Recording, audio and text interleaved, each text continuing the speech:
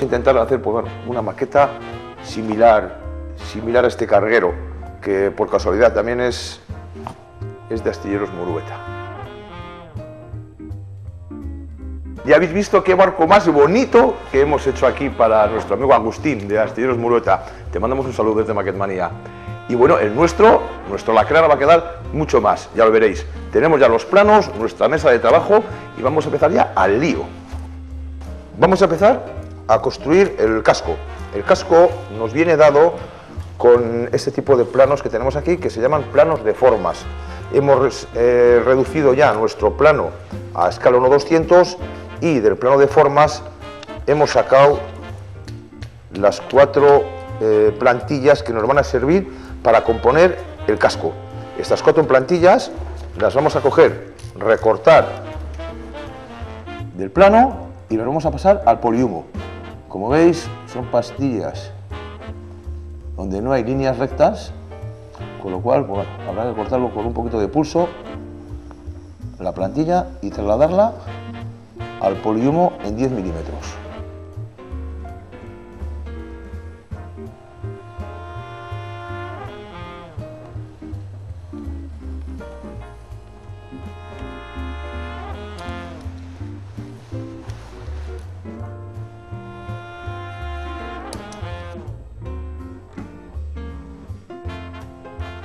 Tenemos aquí una, haremos así con el resto.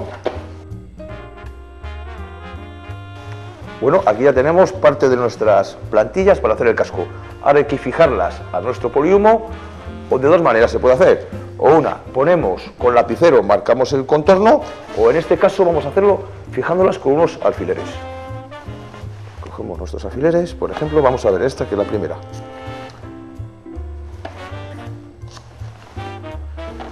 Tres y cortamos. Y para aquellos que tengáis de entera, cuidado a la hora de cortar el polihumo. Una cosa que no os he dicho es, eh, veis aquí esta pequeña marca que hemos hecho, esto es luego para, para alinear las plantillas del casco. Esta marquita, vamos también a recortarla y ahora cuando tengamos todas las piezas os digo, veréis para qué es. Quitamos.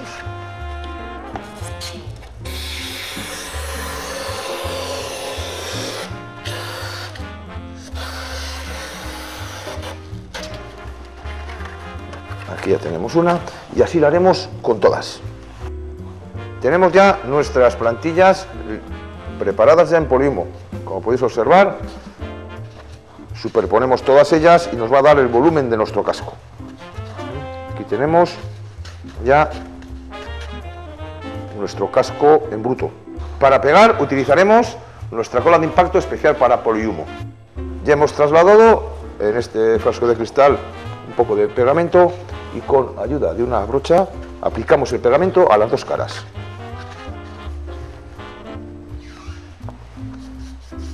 A esta cara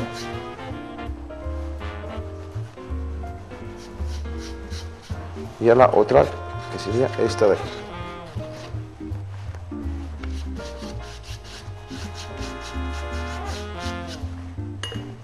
Vamos así haciéndolo con todas las piezas, dejamos secar un poquito y pegamos. Tenemos aquí ya nuestro, nuestro casco, lo hemos dejado un poquito por aquí y como os comentaba antes, aquí tenemos esta pieza.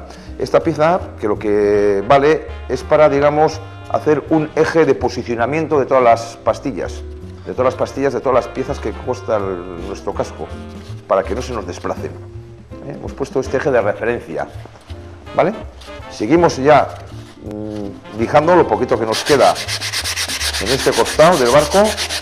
Como veis, el poliumo es un material que se lija estupendamente y podemos dar cualquier forma. Y como podéis ver, eh, el poliumo cuando lijamos suelta mucha virutita y mucho polvito, intentar siempre tener un aspirador o una escobita para ir recogiendo este, esta viruta.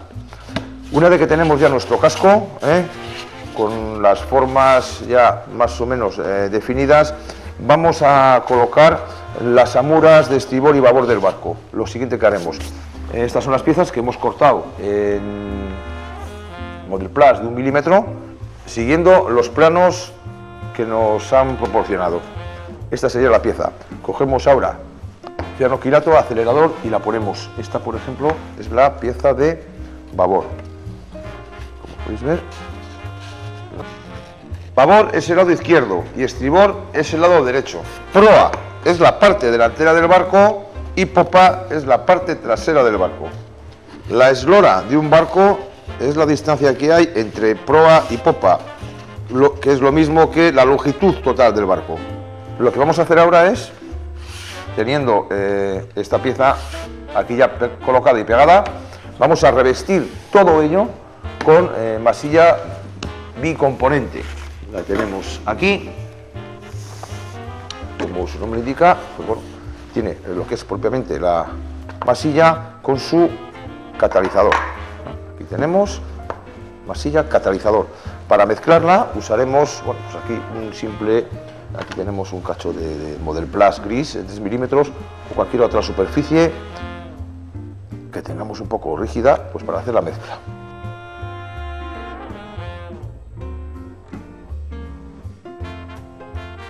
Recordad que todos estos elementos podéis conseguirlos en nuestra página web. Aquí le echaremos un poco del catalizador y mezclaremos bien los dos componentes hasta que el color pues adquiera un color sea uniforme, ¿no? Se va a quedar como un rosa clarito. ya lo tenemos bien mezclado. Recordaros que esta masilla, el tiempo de secado es muy breve. Vamos a poder, digamos, aplicarla durante 5 minutos, no más. Y luego, pues en otros 10 minutos la tendremos lista para lijar cogemos y vamos aplicando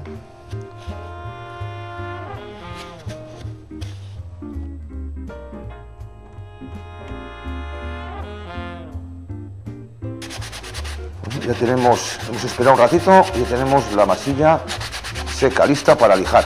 Entonces ahora es cuestión de eh, darle aquí a la lija para que nos quede una superficie totalmente lisa y bueno, y dada la composición de la masilla que hemos usado, nos quedará una superficie lisa y a la vez también bastante dura y resistente. Pues aquí ya acabando de dar los últimos toques a nuestro casco de pintura. ¿Vale? Lo hemos pintado a pincel, pero bueno, lo podéis pintar también a aerógrafo, como, como queráis. Lo dejamos que seque un poquito estos últimos toques de pintura y vamos a dar paso a Maite Álvarez para que nos hable un poquito de cómo, cómo nos va nuestra página web. Maite Álvarez. Hola Oscar, hola Maqueta amigos. Una semana más para recordaros que podéis seguirnos desde nuestra página de Facebook, Twitter o desde nuestra propia página del programa, Maquetmania TV. Recordaros también que desde nuestra página web nos podéis enviar retos, sugerencias o aspectos a mejorar. Gracias Oscar. Hasta luego, Maqueta amigos. Gracias Maite. Bueno, pues nosotros a, lo nuestro, ¿eh? Eh, después de oír estos consejos de, Maite. Eh, bueno, tenemos ya el casco seco y, bueno, aquí ya lo tenemos, como podéis ver. ahora vamos a, seguir con la maqueta haciendo todo lo que va, digamos, en la cubierta, encima de la cubierta. Para ello es muy importante mm, tener los planos como podéis ver aquí, hemos empezado ya un poco a hacer el despiece de todas las piezas que van en la cubierta y están todas sacadas el Model Plus de 2 milímetros. ¿Eh? Como os podéis dar cuenta aquí, esta es una pieza que hemos seguido según el plano ya a escala, el Model Plus, la hemos pintado, que es un poco la pieza que va. Aquí tenemos una pieza también que es un poco peculiar porque es la única pieza de madera que vamos a meter en la maqueta, que es pues bueno, la zona de cubierta que va aquí, como podéis ver, la hemos recortado según la plantilla y la hemos sacado con una eh, lámina de, de sapeli nada, de 0,5 milímetros y lo que hemos hecho ha sido esto, o con un lapicero hacer eh, unas líneas paralelas simulando eh, tarima de madera o simplemente con un punzón grabarlo. La hemos cogido con doble cara, le hemos quitado la protección del doble cara y lo hemos pegado en su sitio ya. Eh, lo único aquí comentaros que son, eh, como podéis ver, hay piezas que son más gruesas, más gruesas que lo que os he comentado de 2 milímetros del Model Plus. Vamos a ver cómo hacemos estas piezas. Es tan sencillo como recortar la silueta de la pieza y superponiéndolas una sobre otra. Vamos a hacer un ejemplo de una de ellas. Bueno, ya tenemos una, ¿vale? Vamos a, completar hasta hacer tres piezas iguales de estas. Nuestras tres piezas ya recortadas, vamos a pegarlas.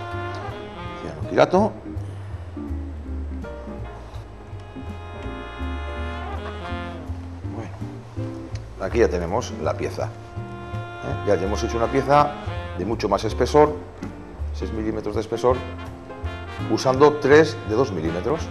Ahora lo que hacemos es, con una lija, vamos un poco lijando estos cantos hasta dejarlos perfectamente uniformes.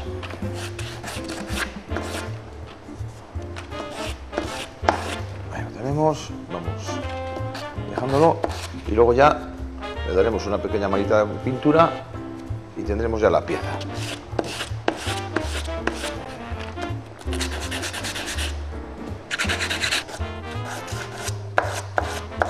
Ya lo tenemos liso. Ahora aquí una pequeña capita de pintura, la vamos a colocar en su sitio. Ahí está. Lo que vamos a hacer ya también en estas que ya las tenemos ya eh, lijadas y pintadas de blanco, vamos a meterle las ventanas, ¿no? Un poco siguiendo los planos eh, que tenemos del barco. Las ventanas las vamos a meter con eh, esta cartulina espejo, donde ya le hemos puesto doble cara y cortamos unas tiras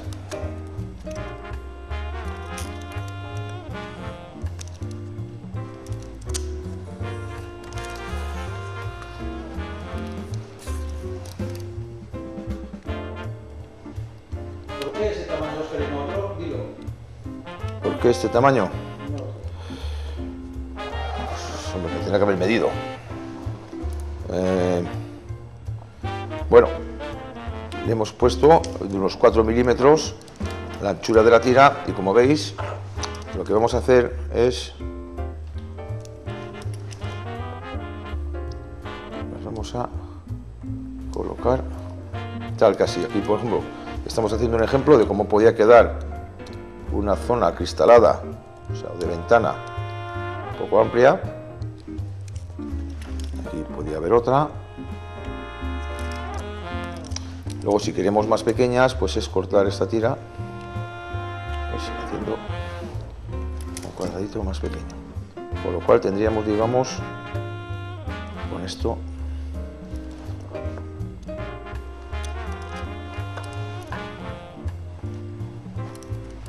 tenemos un poco el efecto de hueco de ventana. Estas las pondremos según los planos que tengamos de, del barco. ¿Qué hacemos ahora? Vamos a hacer, una vez tener esto, compondremos la superestructura del barco. La superestructura es lo que llamamos, digamos, la casa del barco. ¿no? Aquí